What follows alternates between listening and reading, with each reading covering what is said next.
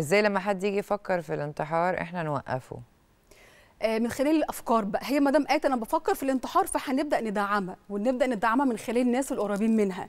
خطيبها أول واحد إخواتها آه الأم أمها آه برضو أبوها مرات الأب يعني لو قلبها حن شوية نبدأ إن إحنا نتكلم آه. معاها برضو. إيه المشكلة؟ بس هي ممكن تنفذ فعلا؟ أنا ده اللي يخوفني بس معنى يعني. إن هي فكرت يبقى هي لسه محتاجة حد يدعم محتاجة حد يقويها.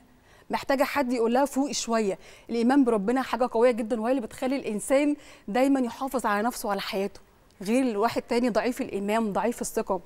دايما الشخص المنتحر بيشوف إن الأذى الأذى الجسدي أحن وأخف بكتير قوي من الأذى النفسي اللي الإنسان بيتعرض ليه. ما يعرفوش. ما- مشكلة كبيرة آه. جدا.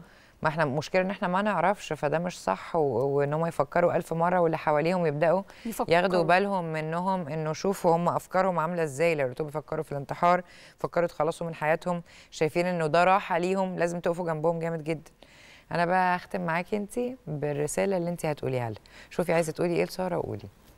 أم، عايزة أقول لسارة طبعا إن هي تجمد وتقوي قلبها وإن هي تدور على أكتر نقطه نقطة قوة عندها وتحاول تدعمها وتحاول تقوي نفسها وتحاول كمان آه، تقوي العلاقة بينها وبين خطيبها وإن هي ترجع آه، تحاول تحسن العلاقة بينها وبين مرات أبوها وبين أبوها وبين أمها. تحاول إن هي تبقى بنت صلبة قوية وإن دايما المشاكل الإنسان بيتعرض ليها بتقويه مش بتضعفه نورتيني. تسلميني. ميرسي يا دكتور وسام. ميرسي يا